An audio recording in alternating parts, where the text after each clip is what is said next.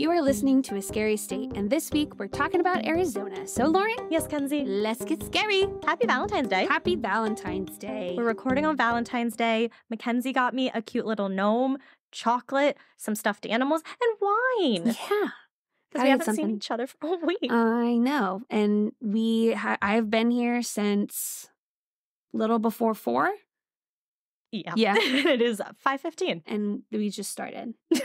we had some catching up to do. A lot of catching up to do. Um, if you listened to our last episode, Mm-hmm. please let us know and we will send you something. Um, it was a very okay. The Wi-Fi in my apartment building sucks. Yeah, it was all Lauren's fault. no matter how many times we've called the apartment complex and Verizon, it just does not get better. And we think that the building turns the Wi Fi ability down at night. Truly. So as Mackenzie and I were recording, I kept getting low Wi Fi warning. And I was like, oh, it's still recording. Like, we're totally fine. I was in ignorant bliss. And I then was like, I- this is going great. and then I listened back over, and I'm sure everyone who's listened has heard. I'm so sorry. That's not how our normal sound has ever sounded. And it's because last time Mackenzie and I had to do distance, I was in a place that had incredible Wi Fi. Yes. And now I'm here that has shitty Wi Fi. And my microphone worked attached to my computer. right. So it was just a whole plethora of issues. So if you listened, let, let us know. Yeah. If you made it all the way through. Yeah. Because it was a good episode. Good episode, good information, just technically. really interesting cases Yeah. and important cases. Yeah. But sometimes that sound quality, man. Yeah. I feel like there's like something in the universe that was like, you guys can't keep doing this apart. It's like, no, no, you must be together. right. And I'm like, look, I wanted to too, but I'm trying to be a good person and not bring whatever I'm sick with to other people. Thank you. Which you would think the universe would be appreciative of. you would think. Just trying to be a good person. So we are appeasing the universe and we are back together in person. And hopefully we'll never do it again. I hope not, because that was awful. Although if you move to Frederick, we'll just get better. I have logically thought about how this could work. If it happens, you come over on a Friday, we have a sleepover, and we record two episodes. We'll mm, we'll storm, brainstorm. but it is so far away. I was just thinking, I was like, we don't see each other enough. I know. And now, okay, we still have away. we still have this lease for almost a whole year, so we're we're fine. Don't you know that I catastrophize situations? No. oh, and did I mention what I did for drinking wine? Oh yeah, it's good. It is good. Very good. It is very good. All right, so let's jump into Arizona because Please. it's already late. All right, how could we not talk about the Grand Canyon in Arizona? One of the world's largest, Arizona's immense canyon stretches 277 miles long, 18 miles wide, and a mile deep, featuring a bold natural palette of geological colors and sculpted erosion. Bet you can't guess who wrote these. You'll want the best views when staring into the depths of the earth. Yaqui Point in Grand Canyon National Park offers one of the most distinct and elusive views of the South Rim. It's not accessible by private vehicle, but can be reached via the park's free shuttle bus service. Ooh. Perched at 7,200 feet, gaze down on the dry riverbed of Cremation. Mhm. Oh my goodness, Cremation Creek to the east, and look north towards Clear Creek drainage, surrounded by buttes and mesas. I saw it and I said, well, she's either going to say butts or. For hikers at Yaqui Point, the six mile south Kaibab Trail descends 4,860 feet and is the trail that remains truest to an actual ridgeline descent into the canyon. I saw this really, this story about this old guy. He hiked the canyon and it's like something where it's like 90 miles from one end to the other. You have to camp like two or three nights. Mhm. It crossed my mind. I said, huh, doesn't sound awful. You're only camping like two nights. You're hiking through the canyon. It seems very pretty. I think I could do through, like if we were already at the bottom. Yeah, I don't know what the route is, but it's not like a super awful hike. Like an 80 year old did it. So we could do it. Yeah, it's the camping part. We did two nights, They're the worst two nights of my life. but we still did two of them. We survived two of them. Barely. People lived in the area that's now Arizona at least 20,000 years ago before written history. But in the 1200s, the civilization disappeared, probably due to a drought. Oh, Much later, Native American tribes, such as the Hopi, Zuni, Navajo, and Apache, lived on the land, and today 22 tribes still reside on reservations in the state. Wow. Arizona has the most land reserved for Native Americans in any other state. Well, that's nice. Mhm. Whenever you think about it, I don't know why. I think Wyoming. Probably because Yellowstone. I don't know why. Yellowstone. Why Yellowstone? Because the show Yellowstone and Oh, yeah, and I don't, but that's not even right. And I don't know. No, Wind River. Wind River. It's a movie. ah. It's about um a death on a reservation, Ah. and it was in Wyoming. See, I think of wherever Big Creek, the massacre at Big Creek or or Little Creek. It's one. It it was really really bad. It was when like it was Andrew Jackson and he was like, get rid of all the Native Americans. We're gonna take over the West, and so they're pushing them out. And there was this like huge massacre of these Native Americans somewhere in the Midwest. Big Creek, Big Creek, Little Creek, something. Idaho. Was it Idaho? No, Big Creek isn't an answer. I don't think it. Maybe It's um, not Little Creek either. It's big horn, big little big horn, big little. Maybe it's a horn. Bighorn, Massacre at big Little Bighorn. little big horn. the massacre was sad. Yeah. Okay. Where was that? oh damn it. The Dakotas or Montana? Montana. Yes. Nice. Not Arizona at all. No, not even close. The Painted Desert shows off over 160 miles of colorful, horizontally striped stone, as well as 200 million year old fossilized plants and animals in Petrified Forest National Park. I think Nora covered that. I was just about to say. I think the wood Yeah. that you're not allowed. to Yeah, you're out. not allowed to take it because it's cursed. correct. Strange animals, such as the coatimundi, a raccoon relative with a tail striped like a lemur's, the pig like javelina, and a small wild cat called a jaguarundi, are also on the prowl. I love these. right. Arizona produces silver and gold, but its top metal is copper. The state produces the most in the United States. In the early 1900s, the state's copper helped build Arizona's railroads. The roof of the Capitol building of Arizona has a copper roof equivalent to 4.8 million pennies. it's a lot. Are pennies still made of copper? Or are they made of what do they used to be made of? Some coin used to be made of something different than what it is now. Lead? No. I don't know.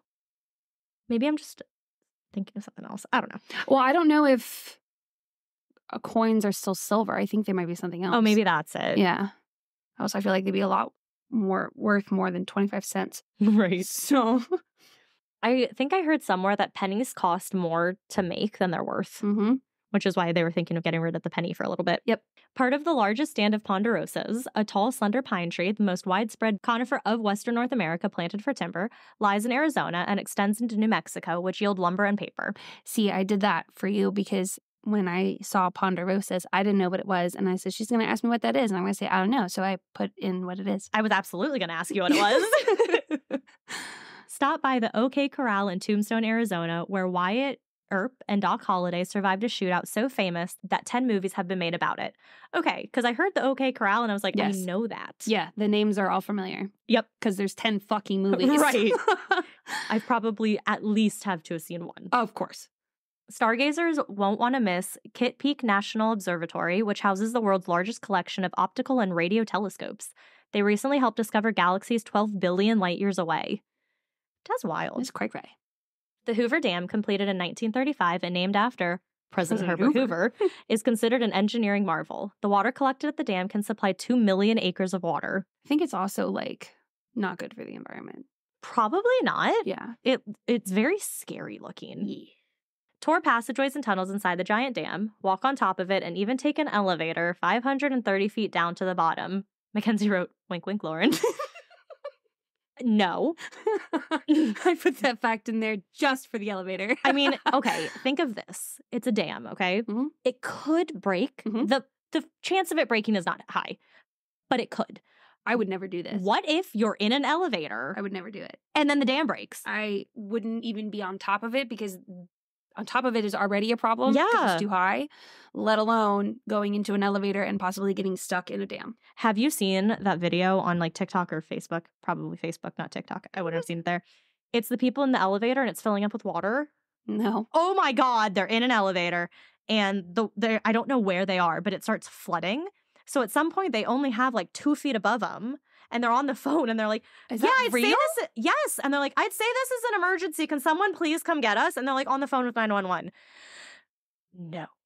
Did you like the one I sent you with the guy who I forget what country he's in?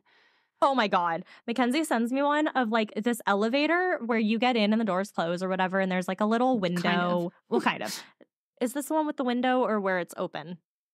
So there's no elevator doors, but the door there's like a Oh, door. yeah, yeah, yeah. Yeah, you close it. Yeah, and so you see the floors passing you as you go up. That's the windows that I'm talking about. Yeah, Yeah. you can see out of them as it's going, but Yeah. like between floors, it's just concrete. It doesn't look like the elevator is moving. It looks like the floors are moving. Yeah. Yeah. Yes. Yes. Exactly. Yeah. Yeah. No. No. No. No, no, no. Nope. Uh, there's this elevator at work that I walked in on Monday and it was just there and the doors were open and it wasn't moving. And I was like, hate that. creepy. I if I see that, I will still press the button. I will press the up button and I will press like to make sure that like you're supposed to be here. Oh, yeah, no, it's broken because the next day I came in, there was a cone there and it's still there. And I'm like, oh, you are broken. And I don't like that. Yes, yes. Sometimes, you know how if like you keep the door open too long on the elevator, it will make that like buzz noise. Mhm. So anytime that happens, because I meet my friends near the elevators for us to watch like breakfast and stuff. Mhm. And so anytime that happens, they all stare at me and I'm like, yes, I don't like it. It can take up to 1,000 years for a Saguaro. hundred. What did I say? 1,000? what is wrong with me? I don't know. I think I was so focused on having to say that word that I was like, I've got everything else right. Saguaro. Okay. It's like those really, really big cactuses. Okay, let me read it. it can take up to 100 years for a Saguaro cactus to grow an arm in areas of low precipitation. Wow. It's huge. So like, how old are like did you find out how old the oldest one is? no, I didn't think about that. It's like a protected species. Hmm. Old granddaddy Oh. was about 300 years old when the Saguaro cactus started to die in the 1990s. Old granddaddy is the oldest known cactus ever in the world. Not only was old granddaddy old, but it was giant at over 40 feet tall and had 52 arms. Oh my gosh. So it must have gotten a lot of precipitation. Yes. That was also part of it when it talked about how long it took to grow back is oh. You did write it, yes. Hence how I knew about the precipitation. I don't just have this knowledge about Saguaro cactuses. I was like, yeah, Lauren's so smart. oh my goodness.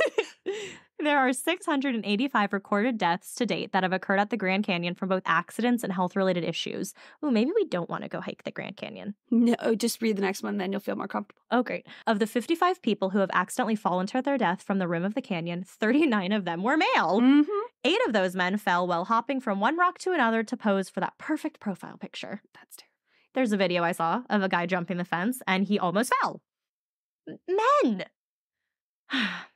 if you stood four 1,300 foot tall skyscrapers on top of each other, they still would not reach the rim of the Grand Canyon. So what this means is There is more than 1 billion years worth of rock exposed at the Grand Canyon. There aren't any dinosaur fossils at the Grand Canyon because the rocks are way older than the dinosaurs. The only fossils you'll find are things like coral, sponges, and trilobites. and the whole world was underwater. That is so cool. Mm-hmm. Arizona is large enough to fit all of New England, plus the state of Pennsylvania inside of it. What this means is You could take all of New England and Pennsylvania and put it in Arizona. That's actually wild. Yeah. I didn't realize Arizona was that big. Well, think about New England. If it's Massachusetts, Connecticut, Rhode Island, New Hampshire, Vermont, Maine is kind of big, but all those are teeny tiny. Yeah, on a map, they just look so big. Oh, and then I guess Arizona looks huge. Yeah. These are little small little babies. Does it count New York? Does New York count as New England? I think s- no. I don't know. Our New England listeners, let us know. Well, no, maybe not, because there's the New York Giants and the New York Jets. Jets, Philadelphia Eagles. Oh my god, you're about to say the New York Eagles. I don't know. Please help me. Um, and then we have, and then we have the New England Patriots, which I assume is just all the other ones. It's like up here, yeah. Yeah. Well, because you have the Buffalo Bills. Right. Yeah. Yeah. Why do they have so many teams? The Jets and the um, Giants are more like down here in New York, and both of their Oh, stadiums are in New Jersey. stupid. Yeah. Well, I mean, Washington Redskins. I mean, whatever their name now, are in Commanders. Maryland. Yeah, So they're not even in DC. I know. I know. Okay. Go sports. Colossal Cave is one of the biggest dry caverns in the world with stalactites with names like Bone Crusher and Fang. Did you know stalactites are on the ceiling and stalagmites are on the floor? I knew it was one or the other. Because stalactites hang tight to the top Oh, and stalagmites might make it up to the top one day. Ooh, I like that. Thank you. That's I fun. learned that on one of our field trips in like middle school or elementary school. And you still all these years later. It's like one of those things where you're like, yes. this is a fact I'm going to know for the rest of my life. one day it will come in handy. Next time you enjoy a refreshing margarita, thank Arizona. The country's first barrel of tequila came out of Nogales in 1936. I love me a margarita. I Mhm. love tequila. Possibly Arizona's most famous criminal, Ernesto Miranda, is the man responsible for mandated Miranda laws. Oh, cool. Yeah. What did he do? I don't know. Oh, well, something where he needed his Miranda rights read. Yeah, I'm assuming they weren't. And so, what is it in 21 Jump Street where he's trying to read the Miranda rights? You have the right. What? What did he say? You have the right to be an attorney. And then the guy goes, Well, technically, you do have the right to be anything you want. Uh, oh, Lord. In 1956, two planes detoured over the Grand Canyon's airspace for a better view and ended up colliding directly over the canyon. The FAA was created in 1958 as a result. Damn. Right. That's always the scariest thing when you're on an airplane and another airplane, you see it go so close to you. I've never had that experience because I think God knows that if I did, it would never get back on a plane. He's he's very aware of what I can and cannot handle and as terrified I am of planes, he knows that if anything were to happen, that would be it. right, like the Alaska plane. If Yeah. your door blew off.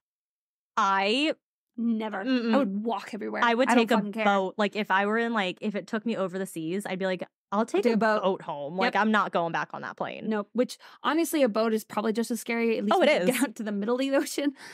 Um, but But it's not a plane but it's not a plane at the moment. at the moment. yeah, no, that's why I looked when I saw that. I said, "God knows who his stronger sol- soldiers are, and it's not me." I love that. It's so funny. So that's Arizona. Arizona. All right, Mackenzie, on our already late night, what story do you have for us? So, I guarantee that you will drop your jaw at least three, possibly four, maybe five times Oh my God. during this story. Okay. To give you an idea, the Forensic Files episode about this case is named Sex, Lies, and DNA. Oh. Yes. All right, I like it already. One week of a mini mic and you can't handle the normal mic. We're professionals, I promise. Well, Well, this is still is not right, but there we go. That that feels better.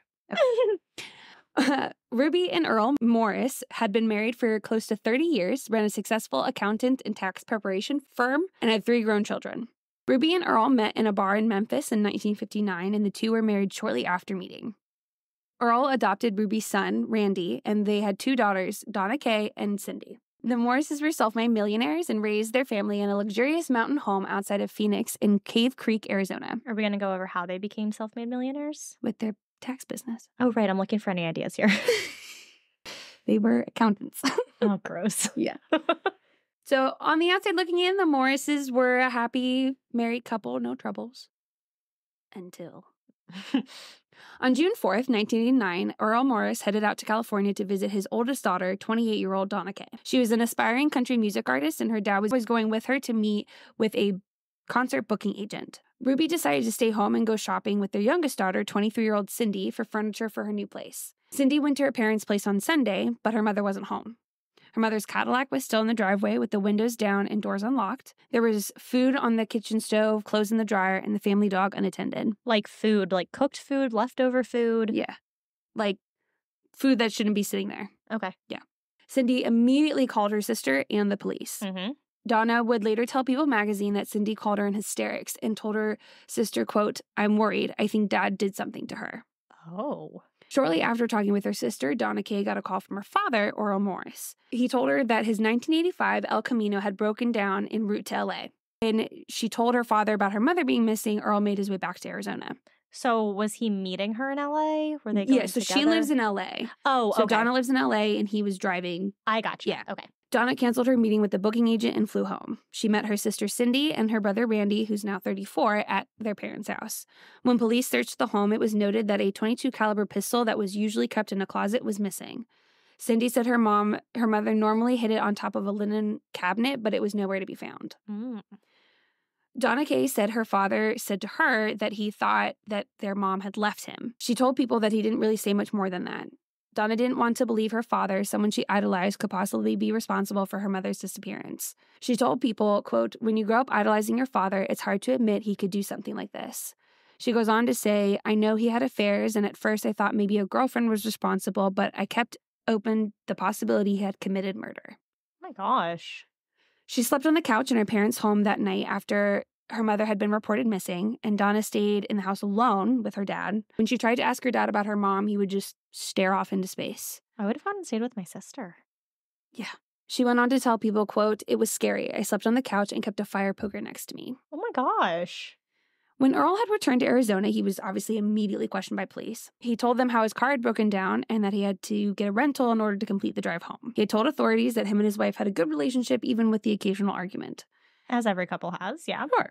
He confirmed with the police that the pistol was in fact missing and said that they kept guns for protection since they lived far out from their neighbors. Okay. Police looked in the trunk of the rental car and found an airport luggage tag attached to Earl's suitcase for a recent trip from San Diego to Phoenix. Hmm. Police looked into the passenger manifest from the flight and they didn't see an Earl Morris, Morris, but they did notice a G Norris. Hmm. They put together some photographs for the flight attendants to see if they recognized anyone. One of the attendants remembered Earl because of his poor quality toupee. Oh my gosh. Oh, the toupee comes back. It's so funny. Police decided to go back to the Morris's home to search for evidence of foul play that they may have overlooked the first time. They decided to spray luminol in the primary bedroom. Mm. And, quote, when we shut off the lights, the entire bed and headboard lit up like a Christmas tree, Oh no. according to Maricopa County Detective Sergeant Richard Falls. Oh my god, I talk about Maricopa County. This is fun to say. Maricopa County. Maricopa. It sounds like mea culpa when you like when when you're Jewish and you mess up. Mea culpa. Oh, that's cute. I didn't know that. You should say that more. Uh, the fine mist pattern told forensic investigators that it was a high velocity splatter that would only come from a gunshot wound. They found tiny blood stains on top of and inside the mattress. They sprayed the bathroom and the entire bathtub lit up bright blue, which is due to the luminescent chemical reacting to the iron oxides left after blood stains have been washed away. because you can't wash them away with Clorox. It doesn't work that way. There were signs of blood by the patio door in the primary bedroom and on the carpet. Police concluded that a very violent crime had taken place in the Morris home. Oh my gosh. Investigators obviously suspected that the blood belonged to Ruby Morris, but they didn't have the blood from her body to match to the blood in the bedroom. Oh. Even though DNA was in its infancy, they did have the ability to use the DNA of family members to help determine if the blood belonged to Ruby Morris. And sorry, what year was this? Um, 1989, 1990. According to forensic files, a DNA profile can be created from comparing the children's DNA with the blood found by investigators and the other parent. That is so cool. Yeah. If there's a DNA match, then scientists would compare the blood to a sibling to confirm their findings. Mm-hmm. When comparing uh, Cindy's DNA to the blood stains found in the Morris bedroom, they found one matching band. And when they compared Ruby's brother, they also found that same matching band. Okay. This told investigators that it was a very high probability that the bloodstains came from Ruby Morris. Okay. However, this wasn't a surprise discovery. The surprise discovery would come to expose the many secrets of the Morris family. Dun dun. Let's go. I love crack my back, crack my neck. When they compared Cindy's DNA to her father's DNA, they had no matching bands, which means Earl Morris is not Cindy's biological father. You are not the father. Ooh. Cindy suspected her father's involvement in her mother's disappearance from the beginning. Her brother Randy would later tell the Arizona Republic, quote, "My sister Cindy tried telling us what she thought happened, but we didn't believe her." Did they do the test on the other two with the dad? Randy's world would also be changed forever when it was discovered that Earl Morris was also not his biological father. oh my gosh. And so they grow up their whole life thinking he is? Oh my God. Major trigger warning. I'm going to give you a second because I can't tell you why, or else it's going to give things away. So just know that it's a sensitive topic that we're about to talk about. So if you don't want to listen to sensitive things, Skip ahead 15 seconds. Yeah. 30 seconds. 15. Okay. You've had your time. Mm-hmm. In fact, during this investigation, the entire Morris family, except Earl, so Earl knew about Randy, That it wasn't his sin. correct? Because he adopted him when they got together. So he knew. Oh, oh, from the mom. correct. Okay. Correct. But everyone else discovered that Randy's father was also his grandfather. Clyde B. Williams had raped his daughter Ruby when she was 14 years old. And Ruby had passed Randy off as her brother until she met Earl three years later. Earl knew the truth about Randy and had adopted him, but neither Earl nor Ruby had any intentions of telling their son that he was half adopted. Okay. So, okay. Family tree. Yeah. Ruby is the mom who died. Mhm. Son is Randy. Correct. Actually, brother Randy. Brother and son, Right. because, Right. Right. Right. Oh my God. yeah, But saying you're my son. Yeah. And then marrying Earl correct, and then Earl adopting as the son. correct. Okay. Yeah. So Earl knew. Right. He did not know about Cindy, though. that Cindy wasn't his. Correct. He thought Oh. Cindy was his. Shit. Yeah, he didn't know that. What are the age differences? Was Randy much older than them or was Randy he must have been no. No, he was 34, 28, 20. Oh, okay. So like, you know, Yeah. relative um There's like a few years between each of them. Okay. Yeah. How old was Ruby? I don't know. Okay, so she must have been in 40s or 50s. Well, okay, let's see. She was 18 in 1959 and 1989 she died. third third what? 1999 she died? 1989 she So died. She was 30. if she's 18 in 1959. Oh, 18. Sorry. 48. So that's how old she was. Okay. Cuz I was like, wait, but how was the son then 34? yeah. okay. So, Randy would later tell reporters that Morris had forced Cindy to move out of her parents' house. So, what's interesting is the dynamic in the relationship with Cindy and Randy that the Mhm. dad had. Even though he thought Cindy was his, he knew about Randy, but he thought Cindy was his. Right. But still kind of treated Mm, her Yeah. like the odd one out. He said, quote, she was close to my mom and my dad didn't like that. He was disappointed in me and Cindy because we didn't make all kinds of money like he did. Donna was the only child he respected. Oh my gosh. I wasn't able to find anything more about this affair that obviously Ruby had and when sh who Cindy's biological father is. They never they don't come back to that. Wow, okay. When uh, really it's okay. There's a lot more pressing things to worry about. Okay. so, we got like what, two jaw drops? Donna told police that Ruby suspected her husband was having an affair with none other than her own sister, Peggy Hinton, oh my god. who lived in Monroe, Louisiana. I feel so fucking bad for Ruby. Oh my This poor woman. She's really having a bad week. She's having a bad life. In April of 1989, Ruby's mother in law, Maxine, and her daughter Cindy went to confront Morris at the Phoenix Sky Harbor Airport, where he had arranged a rendezvous with Peggy. Now, some say that Peggy was there. I don't know if she was yet, but ideally, that's she was supposed to be coming in. And the two were going to catch them. Yeah. Okay. Ruby told Morris she wanted a divorce and that she wanted three quarters of their assets instead of a 50 50 split, which would be about 1.7 million each. Get a girl. Yes. Supposedly, Ruby also threatened Morris that if he didn't accept her terms, that she might turn him into the IRS for filing fraudulent tax returns. Oh my god. Ruby said, fuck around and find out. we love it. Yes. Well, Well. Morris had assured Donna, though, that they had he had patched things up with, with her mom.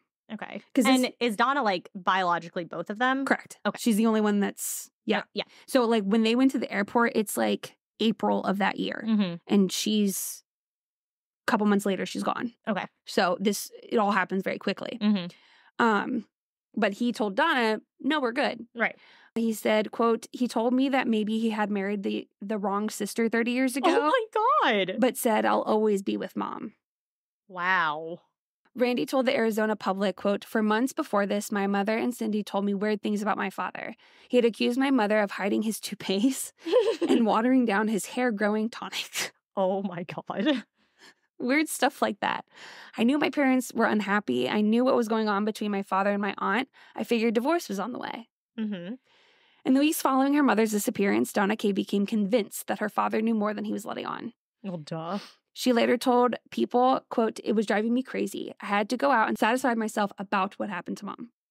Donna discovered that her parents' 22 foot cabin cruiser, normally docked in a San Diego marina, had vanished. Oh. In August of 1989, she distributed several hundred flyers in the San Diego area offering a $1,000 reward for information about the boat.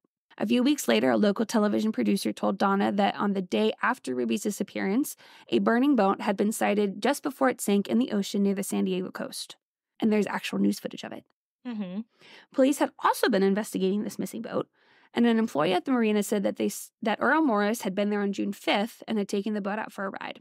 Okay. When they asked the Coast Guard about the missing boat, they told police that there had been a mysterious fire in a boat about the same size as the Morrises, which burned and sank about 13 miles offshore.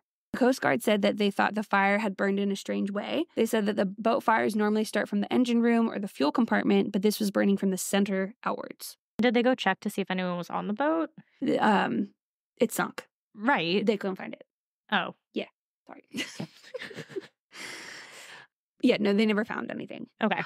Police obviously suspected that Morris had set the fire to get rid of Ruby's body and speculated that he may have rented a second boat. Mm. Meanwhile, they're also looking for his El Camino that supposedly he said it broke down and was left in Blythe.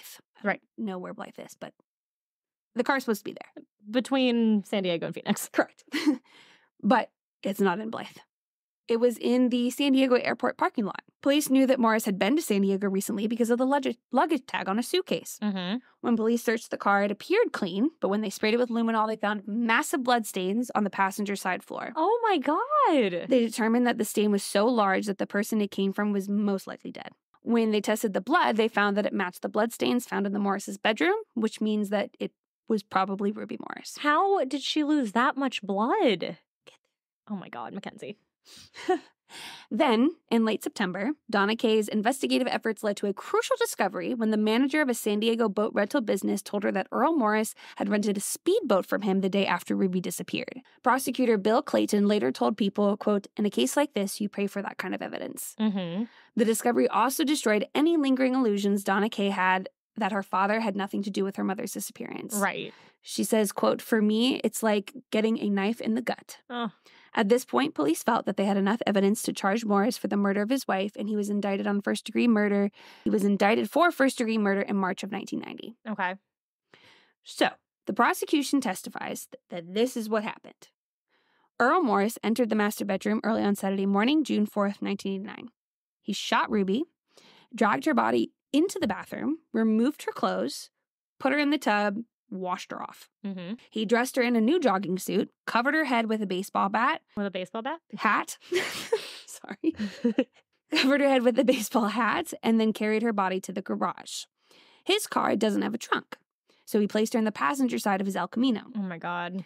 He went back inside to clean up. Mm-hmm. Then he drove the 400 miles to San Diego with his wife's dead body in the seat next to him. Oh my god. Blood dripped from her head and onto the floor. When he got to San Diego, he towed his boat to the boat ramp and put Ruby's body inside of it, along with the bloody sheets and the murder weapon with a gas lantern.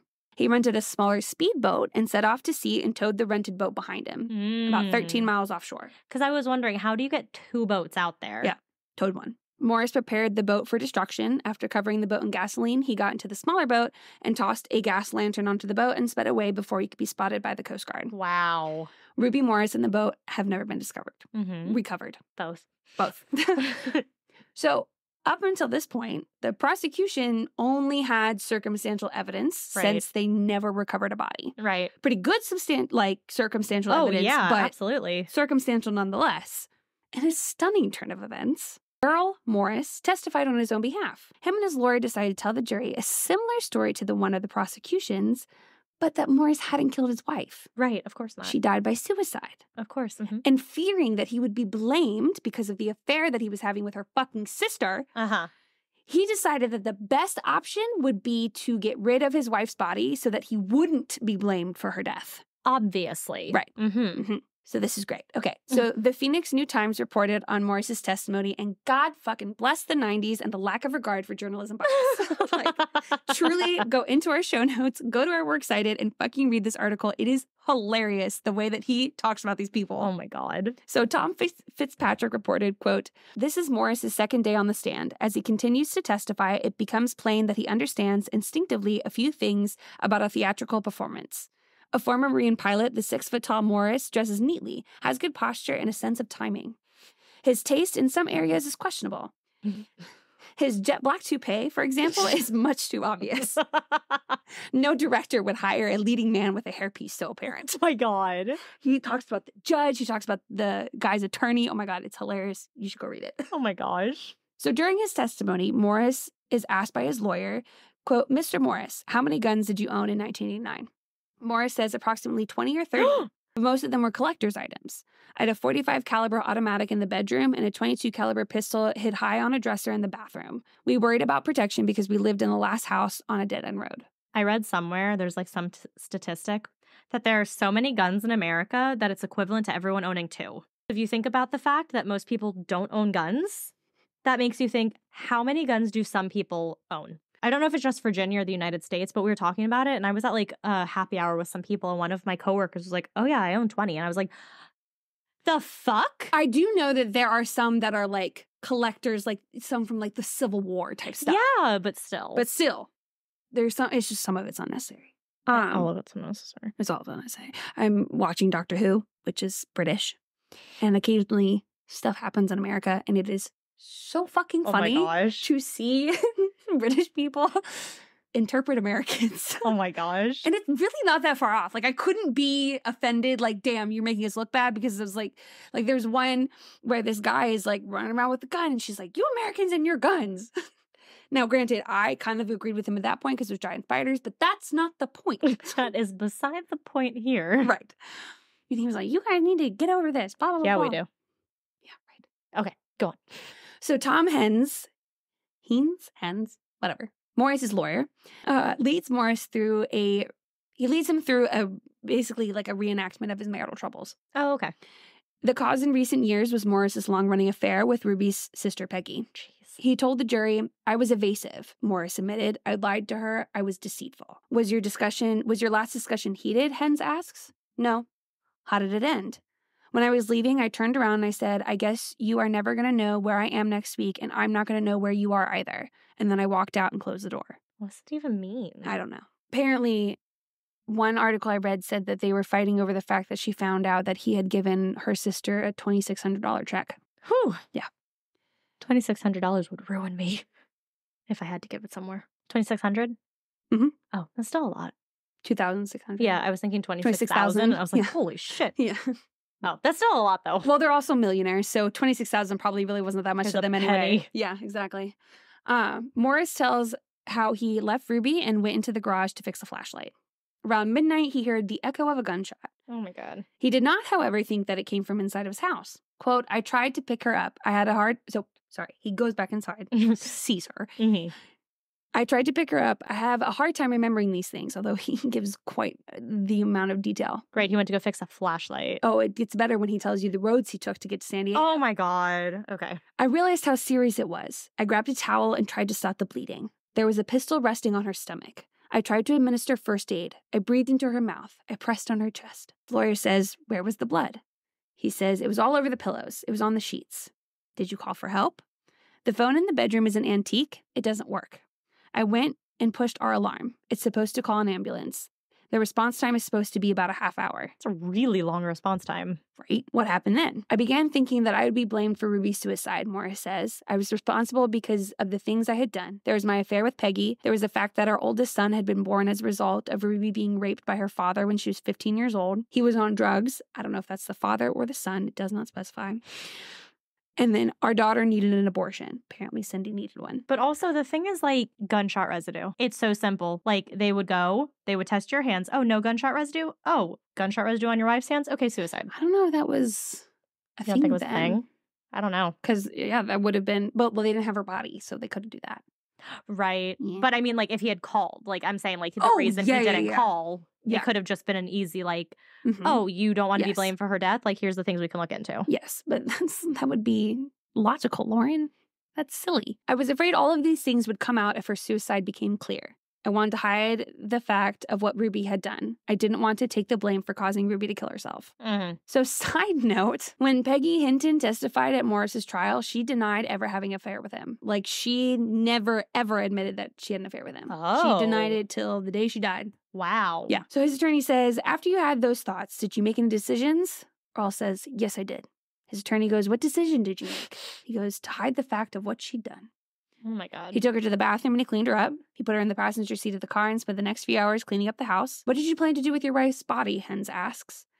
We have a lot of abandoned mine shafts in the area. I thought I'd put her in one of those with the bedding that I had brought along too. Then I could still have time to catch my flight to California. But it's still at the same time, like, this is your wife. This is what you're going to do with her body. Even if it was a suicide on her part, this is what you're going to do with her body? He says, I couldn't bring myself to do it. Shut up. So he drove towards San Diego, a drive of more than six hours. Ruby was sitting up, Morris recalls. She looked like she was sleeping. I drove on Carefree Highway to the freeway and then went south on Route 10. I hit the cutoff on Gila Bend and went on to Yuma and San Diego. But he has a hard time remembering it's a hard details. thing to remember, yes. Morris continues with his story. I towed my boat out into the ocean. Hens asks, "How did you get into the How did you get it into the ocean?" He says, "I went out by the Dana Point landing under the bridge, past the Coast Guard station, and then into the ocean. I went about 12 miles. So this final ride took takes about an hour. Ruby was in the boat as well as the bedding and the towels and the 22 caliber pistol. And then Hens asks, I set the boat afire and returned. It took about an hour to get back. I drove to the San Diego airport and got a got a plane home. It was about 1:30 p.m. According to Morris's account, he hadn't slept for almost two days. Oh, poor thing. So, Prosecutor Clayton has a couple of choices here with his cross examination. He can attack him head on, slashing him for his hard to believe account of the necessity for hiding the body of a woman who had committed suicide, Mm-hmm. or he could lead Morris down a line of questioning that would portray him as a man who could not be believed. Oh, okay. So, Clayton says, You lied to your wife, Ruby? Yes. You lied to the detectives? Yes. You lied to the sheriff's deputy? Yes. You lied to Ruby many times, didn't you? Now, Morris says something that startles everyone. His mistake is that he suddenly is trying to outthink the prosecutor. Oh, God. And he says, I think deceive might be a better word. You like the word deceive better, Clayton says, his tone flat. Yes. Is deceiving nicer than lying? A lie is when you tell a falsehood, Morris says. Deceiving is when you give an impression that's false. He's trying to be like this super Oh, like, yeah. brilliant scholar. Oh, yeah. But it's like, sir, it's not working. Let me get this straight, Clayton says. You cleaned up your wife to dump her into a mine shaft, but I changed my mind. So when you changed your mind, you decided she was already dressed for a trip to San Diego. She was presentable, is that right? Yes. You told us you sounded the alarm for help. Did you ever think about calling a second time? Yes, I did. Did you know that there's no record of you making a call for help? No answer. So Earl Morris has testified that he discovered his wife with the gunshot in her left temple. They had used, and she had used the 22 caliber. Blood spatter evidence told forensic forensic detectives that Ruby could not have shot herself. So he said it was in the left temple. She's right-handed, and it would be impossible for her to shoot herself because the barrel of the gun is super long. mm-hmm. The blood spatter on the headboard also revealed two layers of spatter, one on top of the other, and that told experts that there are two shots. Two. A person cannot shoot themselves twice. Shoot themselves twice. Right. So it took the jury only three hours to deliberate, and they convicted him of first degree murder, and he was sentenced to 25 years to life. Wow. So as of today, Earl Morris has actually outlived Peggy, the sister in law who went to her grave denying that she ever had an affair with him. Wow. She's buried next to Ruby in Bell Vernon Cemetery in Friendship, Tennessee in 2003. Clyde B. Williams, the only thing that I could find out about Ruby's dad was his obituary from 1976. Wow. The Forensic Files episode said that uh, children saw charges brought against their grandfather for raping Ruby, but I don't know if it's true. I don't know what came of it because he had been dead for 15 years. Right. So, don't know. The children. So, even though Donna was her father's favorite, she remained faithful to her mother. She appeared on the Maury Povich show to talk about the murder case in 1992 and also gave People magazine an interview. Could not find any recent information on Donna or how her career ended up Mhm. turning out. But according to People, after her father's arrest and conviction, Donna Kay won Song of the Year and Video of the Year nominations from the California Country Music Association for her song Burn One For Me in 1992. Oh, wow. Donna told people, quote, it's a song about a woman who is having trouble letting go of a guy, sort of like how I had trouble letting go of my father. She told reporters after hearing the verdict that she would be able to forgive her father if he confessed. She said, quote, I guess there will always be a side of me that will want him to come up and tell the truth about what actually happened, what his motives were. Cindy Morris appears to be married and still living in Cave Creek. She told the Arizona Republic that there were no winners in this case. She said, quote, he's now the man who murdered my mother. He's no longer my father. Wow. Randy Morris has also remained in Arizona with his wife and three kids. He told E.J. Montini of the Arizona Republic in 1990, right after his father was arrested, that he had actually lost his job at the local pet control company. Randy said, quote, the company I worked for was worried about possible bad publicity. Reporters called me at work. I figured they that must have played into my getting fired. It's a problem, I know, but I want to stay in pest control if I can. I guess I need to find someone who can understand what we're going through, someone who can separate me from my dad. As for Earl Morris, I went above and beyond. Well, I went onto the Arizona Department of Corrections. And oh my looked this motherfucker goodness. Look at you. Still in jail.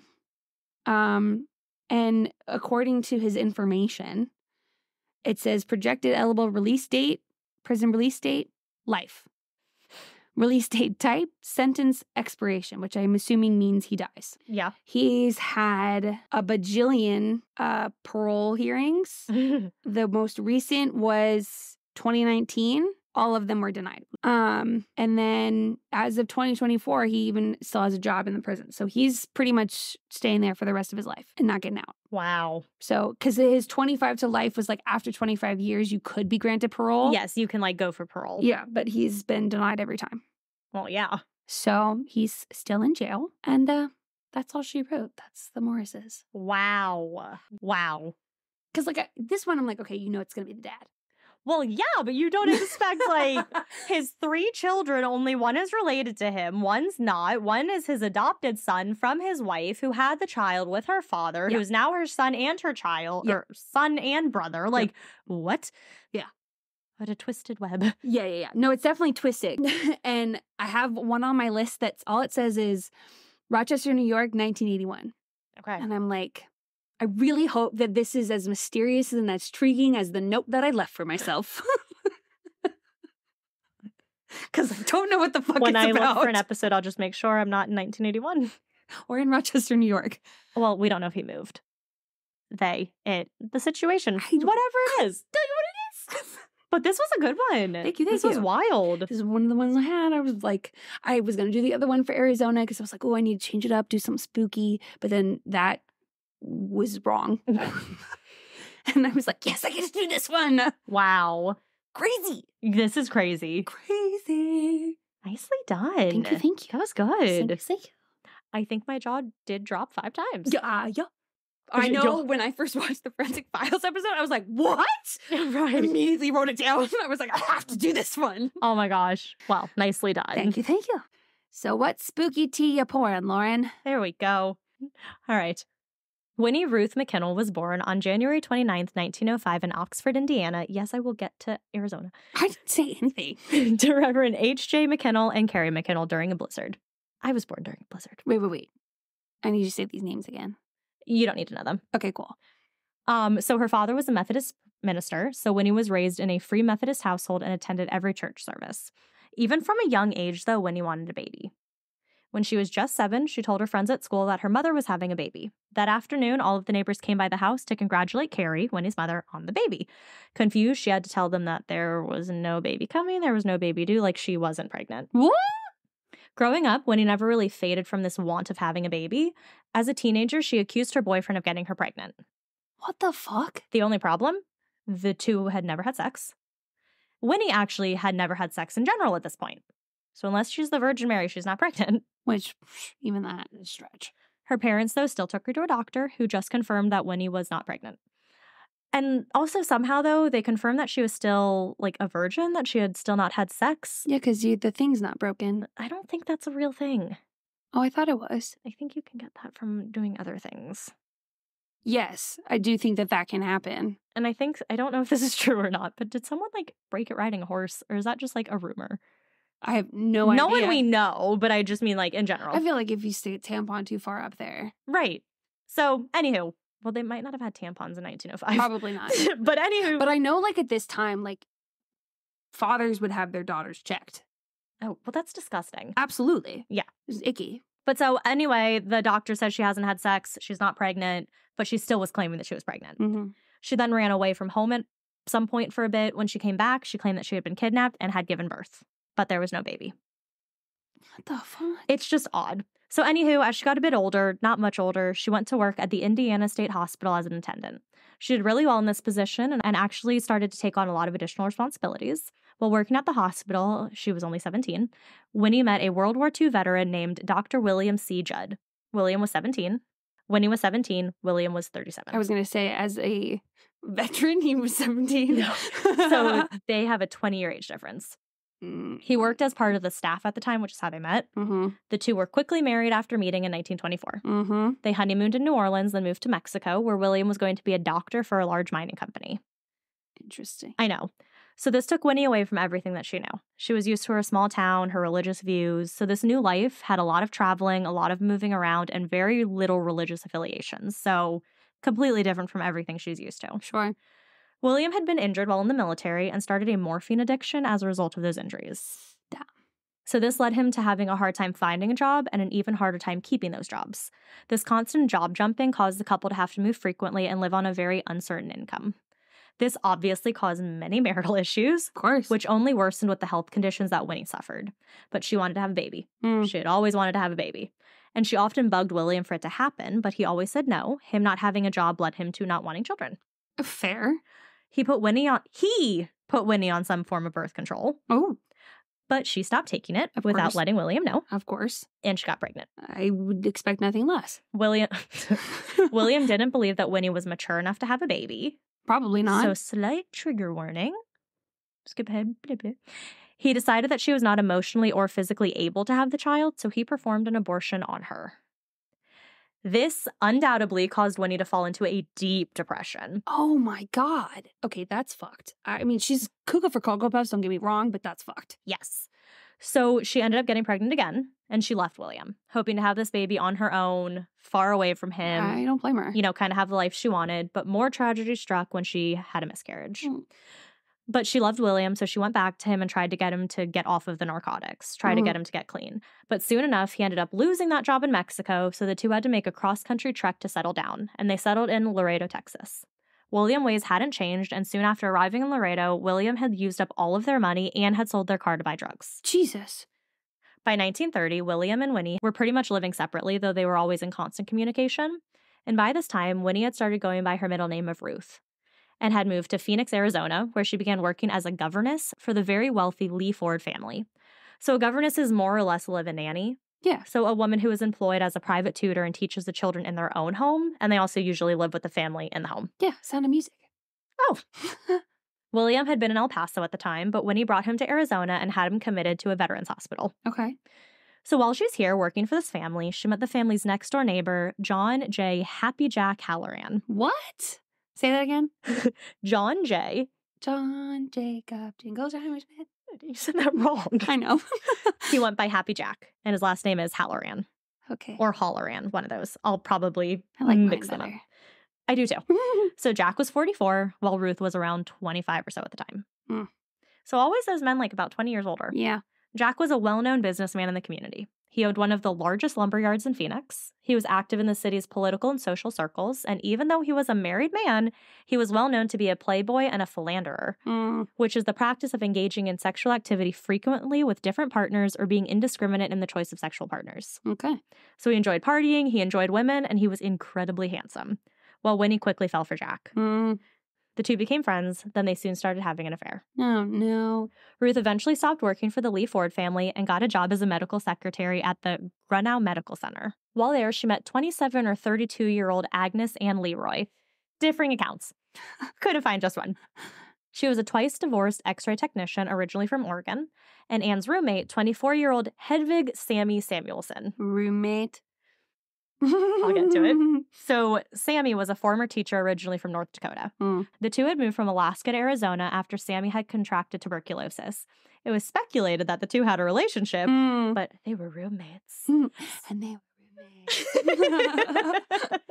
so, of course, that was what was speculated. You're not in a relationship, you're just roommates. yeah, yeah, yeah. So, soon enough, a friendship bloomed between the three women, and in 1931, Ruth moved in with them into their bungalow for a couple of months. Now she was a roommate. She was a roommate. But after those few months, differences started to develop started to develop between the three. So Ruth was casual in how she liked the house. It could be a little messy, it could be a little dirty, while Anne and Sammy were rather neat and liked things to be tidy. Yeah, it's conflicting. So to ease tensions, Ruth moved out and back to her own apartment, which still wasn't too far from the bungalow that Amy and Sammy rent Anne and Sammy rented. So she moved and Sammy. So she moved out to like ease the tensions and to make sure that they could remain friends. That's a good idea. Yep. Jack knew Anne and Sammy and obviously Ruth, so he would come around with some of his other married friends. They would bring booze and the group would party together often. These married men were also a very high regard in the community. They would often tell their wives that they were working late at the office when they were actually partying at the bungalow. Tisk, tisk. So it started to become very clear that Anne and Sammy were starting to become interested in Jack. Oh, Mm-hmm. Anne and Sammy. Mm-hmm. Anne and Sammy. I remember once I had a friend named Anne, and I was telling dad who I was inviting to my birthday, and I was like, you know, Katie, Jim, and Anne. And he goes, and who? And I said, no, Anne. That's her name. Anne. um, but yes, Anne and Sammy were interested in Jack. uh oh. So there were even times when Jack would party with the two women without Ruth. Yes. At one point on one fall night 1931, Ruth introduced Jack to a nurse named Lucy Moore. Ruth knew Jack and a few others were planning a hunting trip to the White Mountains of northern Arizona, and she knew that Lucy Moore was from the area. So why not introduce the two so she could help the men plan the trip? Very innocent. Mm, Gonna move this stupid. it's your face. So on that night, Jack and Ruth went to pick up Lucy. This is where they were introduced. Mm-hmm. Jack said that he wanted to stop by Anne and Sammy's place. Well, Ruth had actually turned down an invitation from the girls earlier that day, telling them that she couldn't hang out because she had work to do. Okay. But Jack wanted to stop by anyways, and being too embarrassed to be caught in this lie, Ruth didn't want to go in. Mm, So. Jack went in, and Ruth stayed in the car. Mhm. Well, he ended up telling Anne and Sammy that Ruth was in the car, so they come out to say hi. Oh. But I don't think they did it in like a mean way. Like I think they were like, "Oh, our friends outside. Like, let me go say hi." Yeah. Noticing another woman in the car, Ruth briefly introduced them to Lucy. Mm-hmm. They didn't say anything that night, but it was later clear that Anne and Sammy were not too happy that Ruth had introduced Jack to this beautiful Lucy Moore. Hi, vey. I know. So, fast forward a few days, on October 18th, 1931, Ruth decided to go on a little trip and boarded the overnight Golden State Limited passenger train. Was departing from Phoenix's Union Station and heading to LA. But Ruth didn't pack light, so with her she had a few trunks and other pieces of luggage. One was a larger trunk, 40 inches by 24 by 38, and weighed about 235 pounds. The other was your average size trunk, 15 by 18 by 36, and weighed about 180 pounds. She also had a smaller bag and a hat box with her.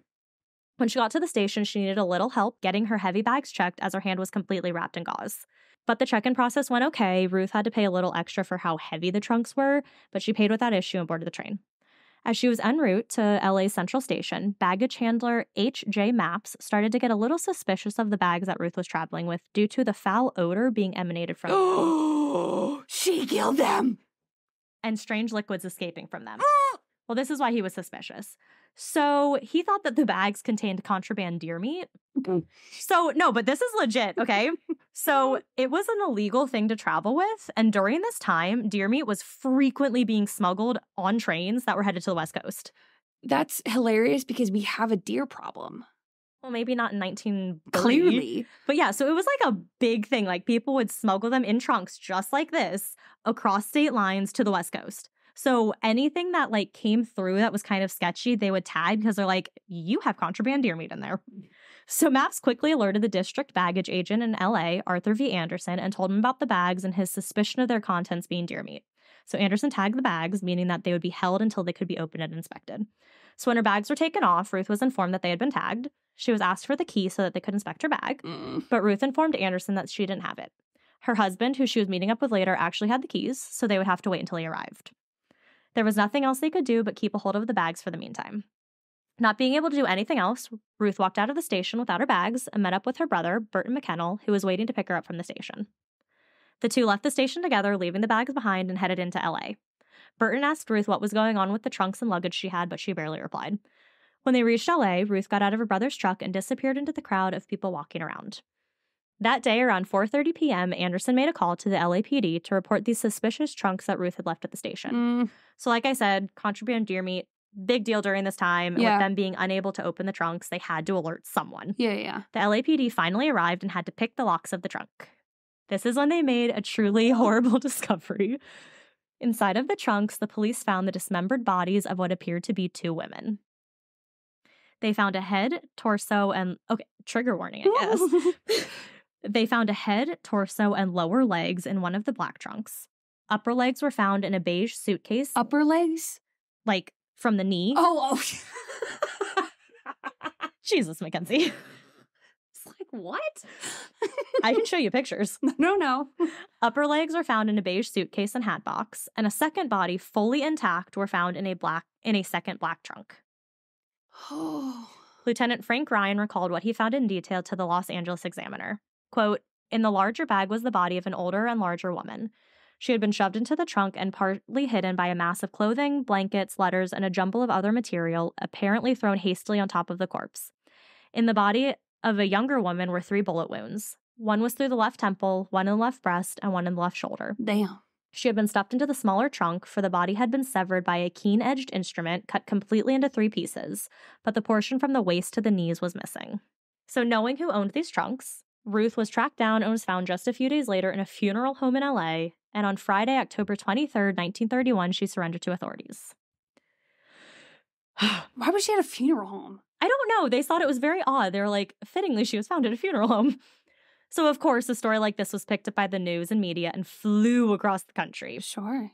The press started calling Ruth the Tiger Woman and the Blonde Butcher. Oh. They realized they didn't like those as much. Mm. So then the overall case eventually became known as the Trunk Murders, and Ruth was ultimately known as the Trunk Murderess. Oh. That's why I chose this case. Okay. so after the trunks were opened on October 19th, 1931, so a day after she went on the train, the police entered the bungalow where Anne and Sammy had lived, being introduced to the crime scene in front of them. Oh. So I'm not really sure why they entered at this point or why they knew to go check. Like I don't because they hadn't opened the trunks at this point. Okay. So I don't know if there had been a welfare check or something. Yeah. But for some reason they entered the house on the 19th. And as the police were entering, so were neighbors and reporters. So immediately destroying the original crime scene. Oh Lord. And just the following day, the landlord decided to profit off of this as well. Of course he did. So he placed newspaper ads in the Arizona Republic and the Phoenix Evening Gazette offering tours of the bungalow for the cheap price of 10 cents per person. I looked it up. In today's money, that is $2. Nice. So actually very cheap. very cheap. This attracted hundreds of curious people who wanted to see what all this was about. Because they didn't know that it was linked to like the trunk murderess Yeah, yeah, yet. yeah. So they knew that that happened, but they didn't know that these were the victims. Until three days later when they connected it. Okay. Yeah. We don't go into that anymore though. Right. So after looking at the crime scene as best they could, as most had been destroyed when anyone was allowed in, Mm-hmm. and examining the bodies found in the trunks, police pieced together what they believe happened that night.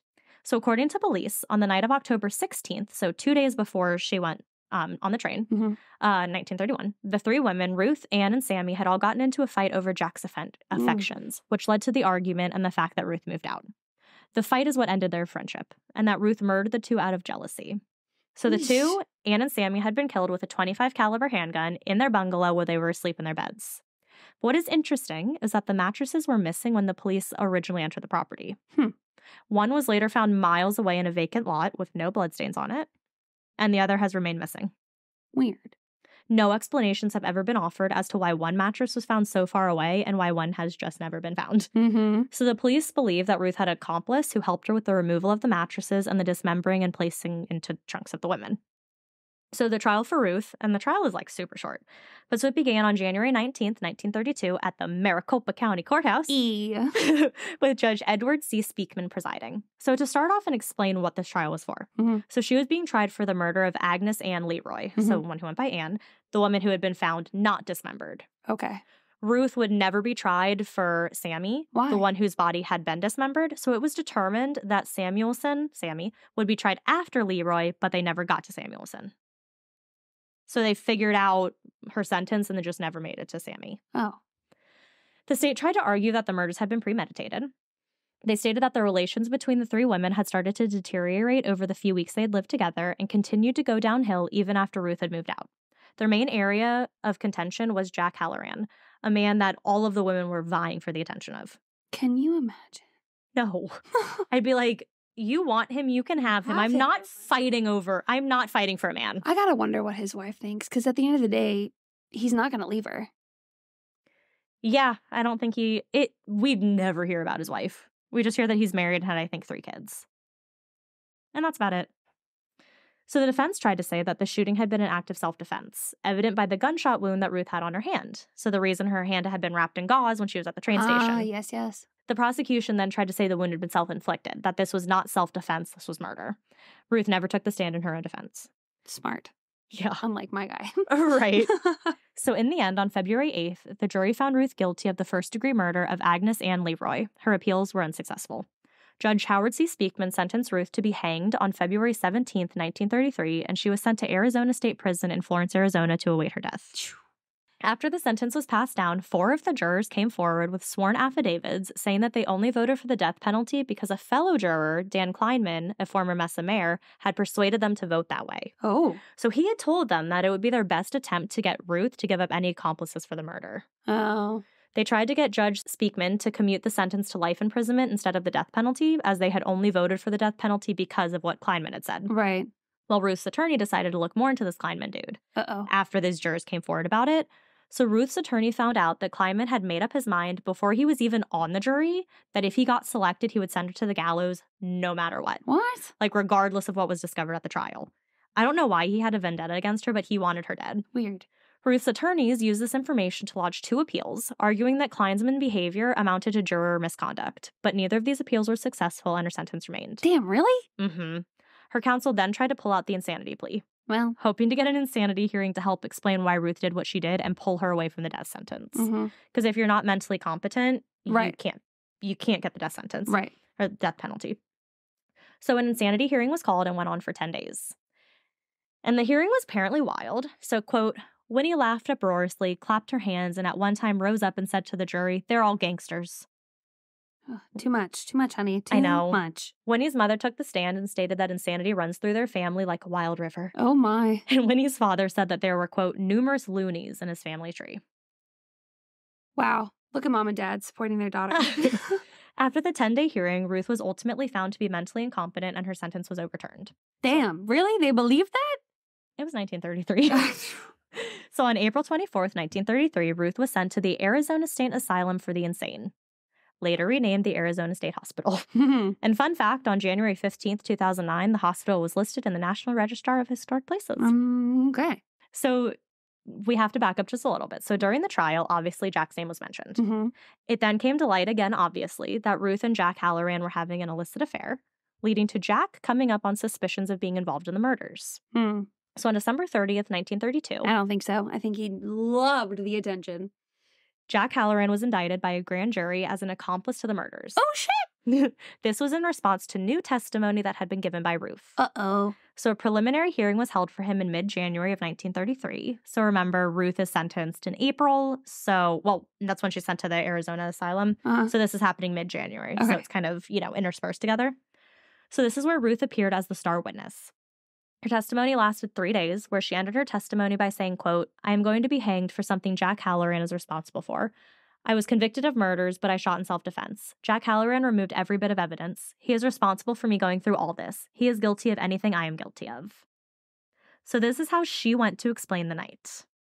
It was October 16th, and Ruth had arrived home from wherever at 6:30. She fed her cat and sat patiently to wait for Jack, who would be taking her to dinner that night. When 9 p.m. rolled around, she realized she had been stood up, and this wasn't the first time that Jack had done this. So Ruth got some things together and headed over to Anne and Sammy's house. They had originally invited her over for a game of bridge. At first, she had declined, saying that she had some work to do, but now she was on her way and headed over. So there had been a fourth woman there, as you need four to play bridge, but she had already left by the point that um, Ruth showed up. mhm. And at this point, the trolley Ruth would need to take home was shut down for the night. So Anne and Sammy told her that she could stay the night. Then in the morning, she and Anne could head to work together. So completely fine. Yeah.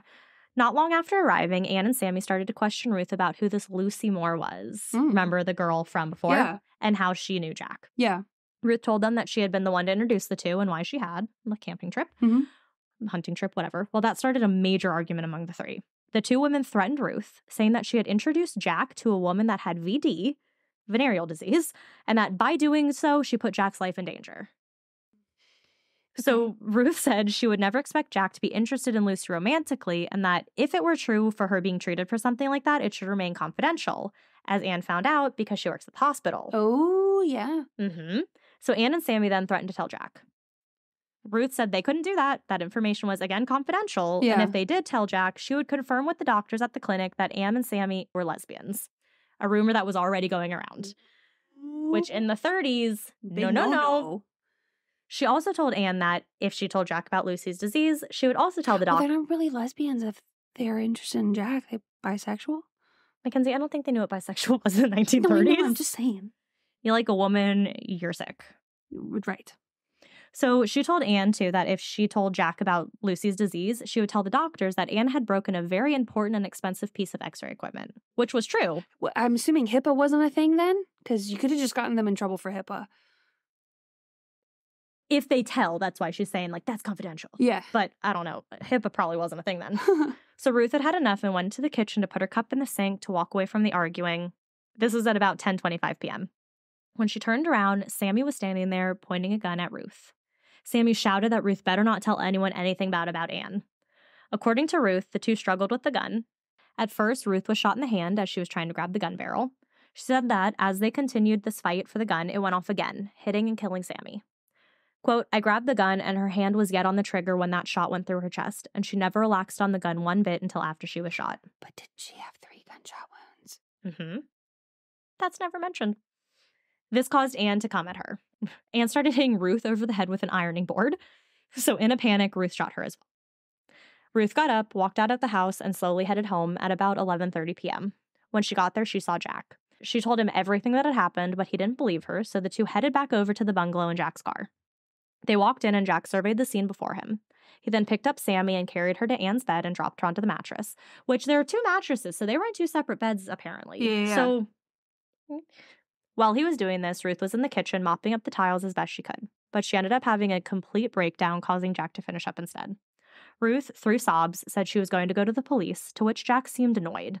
She said, quote, He scared me of the police. He scared me of the state's attorney. He scared the life out of me, what it would mean. He told me that he would take care of everything himself and that everything would be all right, but to say absolutely nothing to no one. Hmm. Jack noticed that Ruth was having some pain from the literal gunshot in her hand, Mhm. so he insisted that his friend, Dr. Brown, come take a look at Ruth's hand. But Ruth refused. She didn't know this Dr. Brown and was worried that he might implicate Jack for the crime. But Jack just smirked and said he had enough on Brown that he wouldn't do that. Jesus. Uh, Mhm. they tried calling the doctor a few times, but he never answered. So once everything was cleaned up, Jack carried a quote, great heavy trunk in from the garage and told Ruth again to not tell anyone. Ruth was cross examined and said that she admitted to repacking Sammy's dismembered body in the trunk and the other luggage two days after the murder. So not immediately, two days after the murder. Mhm. She said that she had originally wanted to pack the chip, the trunks, and ship them to her brother on the West Coast and have him dispose of the bodies, but they were too big to ship. So that was the testimony that Ruth provided well on the stand in Jack's trial. Jack, though, didn't take the stand in his own defense, though his defense tried to claim that Ruth's story was, quote, nothing more than the story of an insane person. They also said that since Ruth had even claimed that it had been self defense, then in fact, no crime had been committed anyways, because it was self defense. Okay. Therefore, Jack couldn't be tried for anything, anyways. Jack's attorney then asked for the charges against his client to be dropped. Uh huh. On January 25th, 1933, Jack was freed. Damn. Oh, I fucking knew it. Rich man's world. It is because he's the most prominent Yeah, guy in yeah, Phoenix. yeah. It's his word against hers. Although I'm even having trouble believing it myself Yes. because I'm like, why the fuck would he get himself involved in this? Like, why would he care if she went to jail? It's Right. his mistress. right, Like, right. I don't think he would give two shits. So the judge who had presided over his case said that the state's case was inconsistent and that trying him would be, quote, an idle gesture. Mm-hmm. Though Jack was officially exonerated, he eventually fell out of favor in Phoenix, losing both his business associates and his social status. I mean, okay, yeah. After this, I would fucking hope so. In 1939, just six years later, he died in Tucson. Damn. I know. So now back to Ruth in the mental asylum, because remember, she's been sentenced there Sure. after being cl- declared mentally incompetent. Yeah. So Ruth was alive, but conditions here were as bad as you can imagine. Mm-hmm. But Ruth tried They usually to make. are. They usually are. So she tried to make the most of her new home and her new situation. So she eventually became the unofficial beautician to many of the other patients. She would help them get ready for the dances that the hospital would host for the patients. Hmm. Nurses even began visiting her because she was so good, paying her small amounts for her work. Oh wow. An aide at the asylum, another Anne, this is Anne Kime, said about Ruth that, quote, she was more like a member of the staff than a patient. She worked unusually hard, did more for that hospital than any two or three people. She wasn't crazy either. She was sane as anyone. She still never had a baby. I know. Which was Maybe sad. that's for the best. And it's for the best. So, between the years of 1933 and 1963, Ruth managed to escape from the asylum six different times. God damn. In October 1939, she was gone for six days before returning on her own. December 1939, several days. She made it all the way to Yuma, which is 180 miles away, along the old Southern Pacific Railroad track. I covered this in one of our Arizona episodes. Hmm. Uh, uh, prison. So, in today's travel methods, I looked this up. It would take two hours and 40 minutes to drive to Yuma from Phoenix. Mhm. Today, walking, it would take you 63 hours. God damn. So police found her in Yuma. May 1947, she was gone for 12 hours. November 1951, a few hours. February 1952, five days. November 1952, two days. Her final escape took place on October 8th, 1963. A nurse who believed Ruth was innocent had given her the key to the front door of the hospital, Ooh. which Ruth used to simply unlock the door and walk out. goddamn. She made it all the way to the San Francisco Bay Area, Shit. which is roughly about 777 yeah, miles that's away Far as hell. which would take 282 hours to walk and 11 hours to drive. How many days is No that? She changed her name to Marion Kane and began working for the wealthy Nichols family in their mansion overlooking the bay as a live in maid. She was affectionately called Mother Nichols. See, I mean, the shit you could get away with back then because records are like not a thing. I know. So Ruth worked this job and lived this new life for six years Wow. until her identity was eventually discovered and she was taken back to Arizona. Who snitched? I don't know. So she was taken back on August 18th, 1969. She had to have been about 64 ish at this time. But yeah, I'm wondering how did they find out? Like, I wonder if Snitched. maybe something was posted and they saw, Yeah. like, how does this, like, this lady, she didn't say that's her name. Yeah. When she returned back to Arizona, Ruth hired famed San Francisco defense attorney Melvin Belli, who in turn hired Larry DeBus to handle Ruth's case. She truly didn't believe she belonged in a mental asylum for the rest of her life, especially proving that she lived outside in the real world for six years and was completely yeah, fine. but honey, you don't want to go to jail. So they spoke to Governor Jack Williams of Arizona, who agreed that he would sign for Ruth's release as long as everything about that and about their meetings were kept hush hush. Huh. But Belli didn't keep it all hush hush and called a press conference calling for Ruth's immediate release. That is the exact opposite of hush hush. Exactly, which forced DeBus to fire Belli. Yeah. Well, on December 22nd, 1971, after two years of going through all the legal hurdles, Ruth was paroled and released. Hmm. Then, just a few years later, in 1983, the state of Arizona issued Ruth an absolute discharge, which meant that she was no longer a parolee. Hmm. So she was officially considered a free woman on December 21st, 1971. She returned to California as Marion Lane. She settled down in Stockton with her dog Skeeter. And on October 23rd, 1998, she died peacefully in her sleep. 67 years to the day that she surrendered to authorities after the murders. But I'm not done yet. Oh, it's insane. So, like I said, this case had gained a lot of media attention and people wanted to continue looking into it. Huh? Jana Bomber Bommersbach, an investigative Wow. journalist, I know, began looking into Ruth's case and started to re-examine it for a series of articles that would be published in the Phoenix New Times. I know. Look at that. So that investigation that she conducted will also soon become a book titled The Trunk Murderess, Winnie Ruth Judd, which was Hmm. released in 92. So for part of her investigation, Bommersbach actually interviewed Ruth herself. Did she? She never divorced her husband, technically, right? Technically, no. okay. And he just kind of, I guess, Hmm. withered away at this veterans hospital. Oh, oh, fuck! I forgot he was there. No. so at the end, Bommersbach concluded that Ruth was innocent.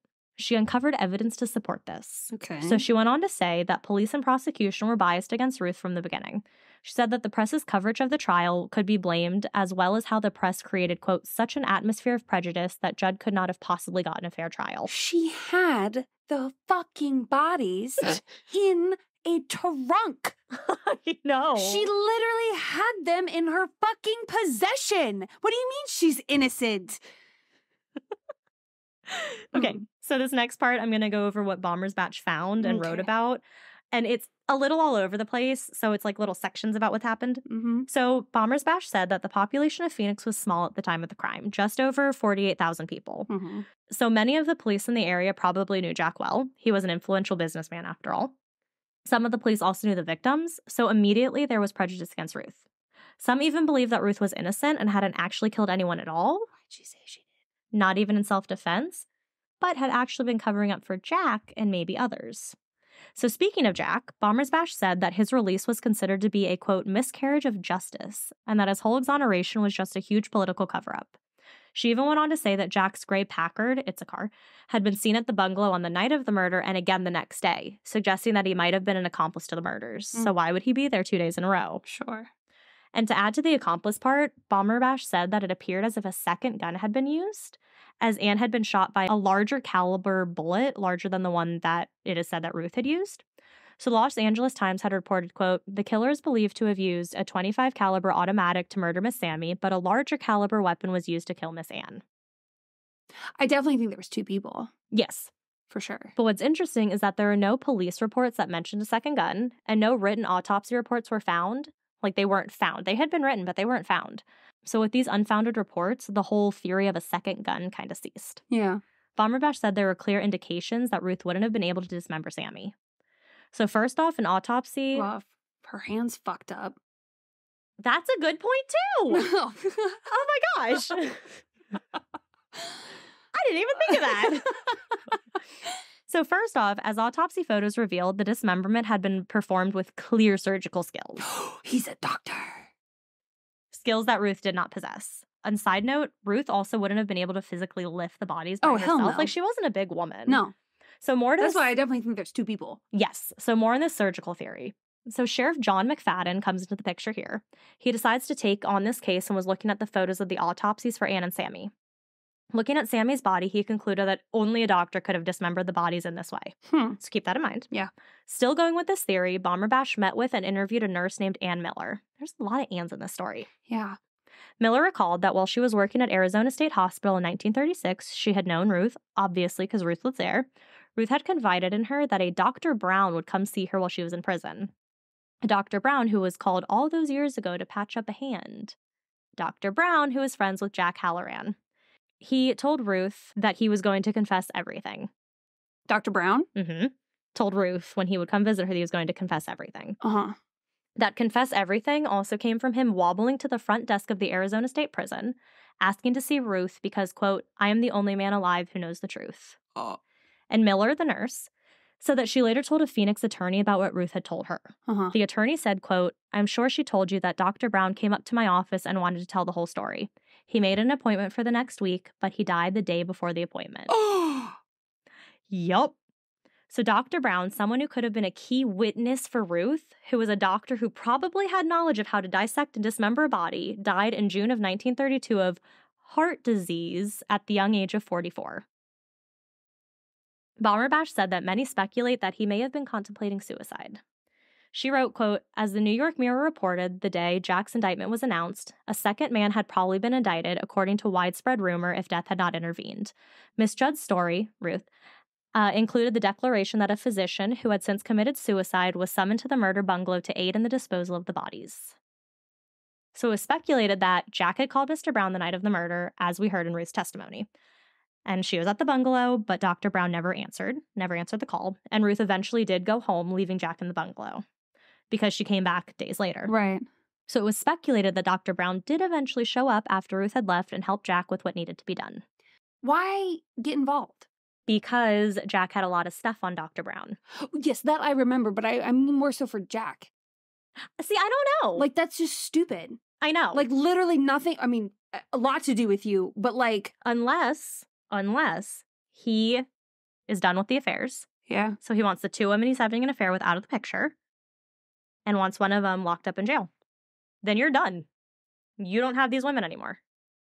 Which is another theory I just thought of at this moment. Arizona Supreme Court Chief Justice Jack D. H. Hays was also contacted by Bommersbach. She asked him to take a look at and review the trial and appeal process. oh, that I definitely think she got fucked on. Mm-hmm. A hundred percent. Oh, yeah. Definitely. So after looking over it, Hays said that he didn't believe the testimony had nearly enough evidence to convict her of first degree murder. That if it hadn't been for Kleinman, the man from before who said all the stuff to convince people, Mhm. Ruth probably would have only received a second degree murder charge. Hays believed that Ruth should have gotten a new trial because of Kleinman's behavior, which he also agreed amounted to jury misconduct as well as jury tampering. Yeah, absolutely. Yep. And I didn't know where to put this part, but this woman named Virginia Federer was the daughter of an Arizona legislator. Okay. She fully believes that Halloran is the killer. That So- who? Ha- Jack Okay. is the killer. She was interviewed with Bommersbach and told her that it was New Year's Eve and she and her husband were dining at the Adams Hotel. She said that this is where she met Jack. Mhm. So she went on to say, quote, somebody asked him a question, like if he could take care of a problem. And he was bragging that, sure, he could fix it. Then he said, I can't recall his exact words, but it was to the effect that if you know the right people, you can fix anything in the town. He laughed and said that Winnie Ruth was out in the state hospital paying for what he'd done. He was bragging about it. Okay, now that you gave that other theory about like the ending the affairs part, Mhm.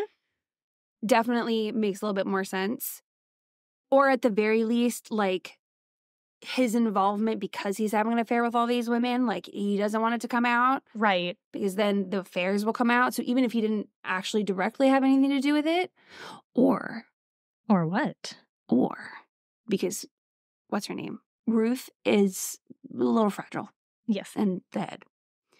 I could easily see him putting the little bug in her ear and convincing her that, like, oh my God, they want me. You can't let them do that.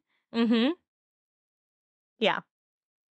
And as it always does, at the conclusion of her investigative series, the relationship that Bommersbach formed with Ruth and her objectivity in her conclusions has led many others who have also studied the case to question the investigator overall. Okay, Like kind of saying, like, you're a little biased towards Ruth. Like, this is fair. so Bommersbach, okay, so Bommersbach's investigative series did bring some interesting questions to the surface, though. But a discovery made in 2014 raised even more questions in this case. Oh my. A so called confession letter was found. Oh, This letter was from 1933, written in Ruth's handwriting that she had given to her attorney, H.G. Richardson.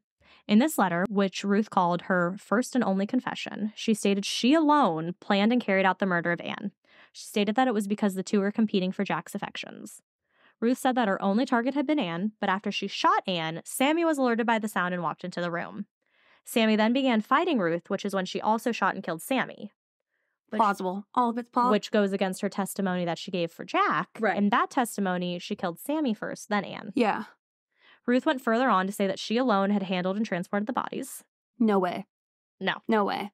One of them was 235 pounds, No and way. one was 150 pounds. How the fuck did you get these mattresses to disappear? And Jack had bought her the ticket for her train ride. Oh, Mm-hmm. I did not know that. I know. Oh, And he was supposed to ride with her, but he never showed up. And she never heard from him after that. Yep. lies. You sit on a throne of lies. So, why this letter never came to light during the trial was because Richardson, the attorney, suppressed the letter because it contradicted an appeal that he had filed in Ruth's case. I mean, yeah. Duh. So, after his death, Ruth wrote to his widow asking for the letter back, fearing that it would jeopardize hearings on her sanity and her potential release from the hospital. So did she write it before or after she was in jail?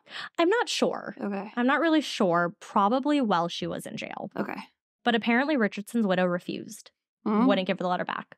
Then in 2002, a few years after Judd's death, Ruth's death, Mhm. the letter was anonymously donated to the Arizona State Archives. Mhm. The letter is widely looked at by those who have studied the case. Some believe it's a true confession, while some believe it was written to bolster Ruth's insanity defense, maybe clear Jack, maybe incriminate Jack, by admitting to a crime where he could have then been labeled as an accessory. Mhm. J. Dwight Dobkins, a co author of the first book written about Ruth, Winnie Ruth Judd, The Trunk Murders, in 1973, dismisses the letter entirely, saying the letter was, quote, just another of her confessions, the one attempt to have Jack named as an accomplice. So, to end real quick before we talk about the theories, I have one last little thing. So, Okay. Miss Cisneros, Met- Who? Who? Miss Cisneros, uh, she met Ruth when she had escaped the, asy- the asylum for the final time. okay. She said that she met Ruth before she went to go live with that family, who claimed that she was a married woman fleeing an abusive spouse. Hmm. So Ruth was welcomed hmm. into the community church with open arms. Cisneros was a young kid at the time and described Ruth as being a sweet, intelligent, and soft spoken woman. She had a kind smile and a warm heart. She said the congregation loved Ruth, and she soon earned the loving nickname of Sister Ruth. Wow. She often led the singing at church and assisted in activities presented by the Girls Christian Club. Miss Cisneros said that Ruth was a wonderful woman. She ended her description of her time with Ruth by saying, quote, Everything about her seems positive. She wanted to please and she tried and she tried hard to do it. I believe in my heart she was innocent of all crimes alleged against her. To me, she'll always be Sister Ruth. She is no doubt resting in peace today. Just because someone is nice doesn't mean they're not capable of murder. So what do you think? Do you think Ruth was guilty? Do you think it was self-defense? Do you think she was No. covering up for Jack? What do we think? I definitely don't think she's innocent. I don't think so at all. It just given her when she becomes obsessed with something Oh, that's a good point. and like how she deals with it not well. right. Um, I could a hundred percent see her going off the rails and being like, "Fuck you, he's my man." Bam, bam. I'm still on the fence about Jack's involvement because in my mind, why the fuck would you do that? To get rid of everyone. No, I know, I know, I know. Because you're not just going to break up with them because here's one of the reasons I don't think he would break up with her. And I just read this somewhere and I didn't have a place to add it. Mhm. So it was either Anne or Sammy kept like a little black book of all the influential men that visited their bungalow Mm. Because he brought everybody. because he brought everyone. And so it could be that if he broke up with them, that would get released. Ah, But if they so happen to just not make it, I could see it being easy for him to convince Ruth to do it mm-hmm, and then help her cover it up mm-hmm, because he thinks he might be implicated. right. And then it just spirals from there. Mm-hmm. I definitely think she did it. I definitely think she had help. I think he was involved somehow because why else would she testify against him? Well, she was mad because he bought her the ticket and he dipped. That like he like, ghosted her. I was the first thing I was like, well, that's straight up revenge. Like she's pissed. right. Like that's what I immediately thought. Mm-hmm. And so it, that's why it's like a little hard to believe like are you doing this to be vindictive or are you doing it because it's true? Right. And I mean, I knew he was going to get off. There was no fucking way. No. He's an influential man. Of course he's gonna get off. You know, for a minute there, I thought that the new girl, Lucy. Lucy, maybe helped her out. Hmm. Interesting.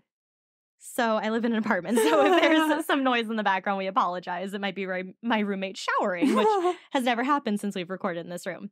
That's why I was like, that's never happened before. Right. Um, but yeah, I don't know. I I I think for sure she did it. Okay. I definitely think there was somebody else involved. Who that somebody was, there's a lot of possibilities. Mhm.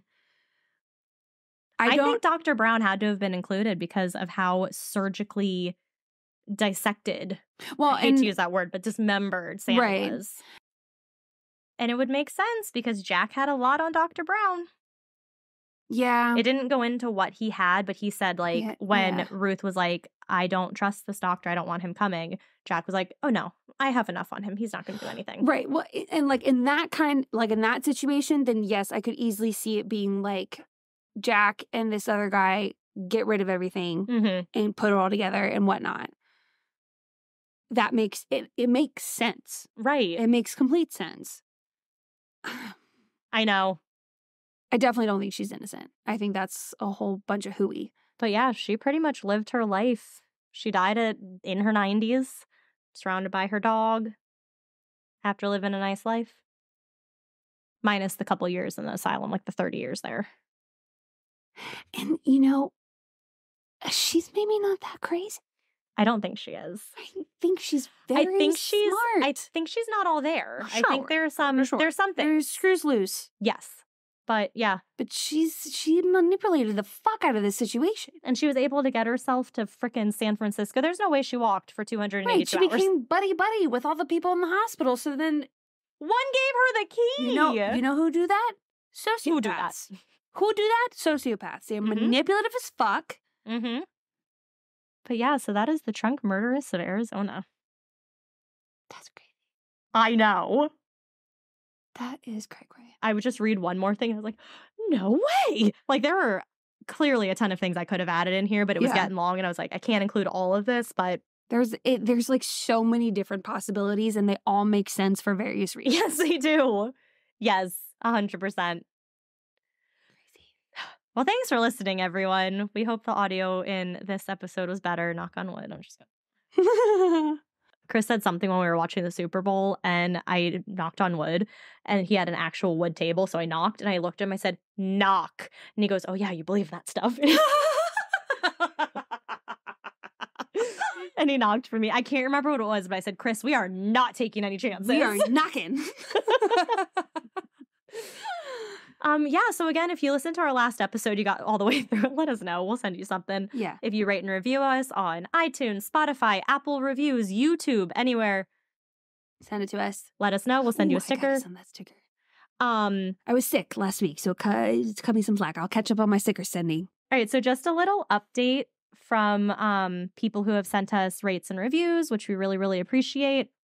So thank you, Tori Tootsie Roll. She left us a really, really sweet review. And then Leo, thank you so much for your reviews. They mean so much to us.